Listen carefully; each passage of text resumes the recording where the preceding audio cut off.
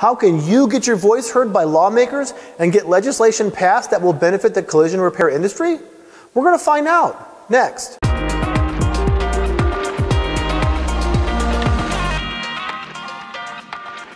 Most legislators are not experts on the collision repair industry or other industries, so they often rely upon those who actually work in any given industry to provide guidance. If body shop owners do not make themselves available, then lawmakers and others will use other sources to gather information, and that could be bad. One of the first steps is developing a personal relationship with your state representative or state senator. Attending a local official's fundraiser is a great start. Another way to ensure that your position is heard as a shop owner is to belong to your state or national association. Repairers have a reasonable expectation that the association will be at the table representing them.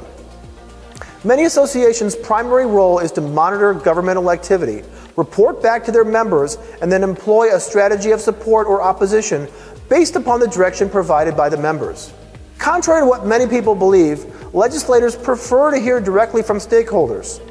Nothing is more effective than individual business owners personally meeting with legislators.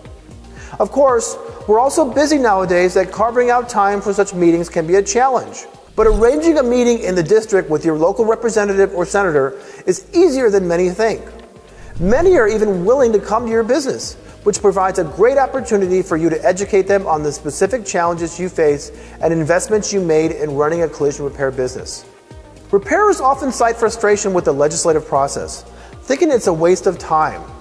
Also, they feel they don't stand a chance against other stronger entities in the industry. But there are plenty of success stories that prove otherwise. I'm Jason Stahl. Thanks for watching.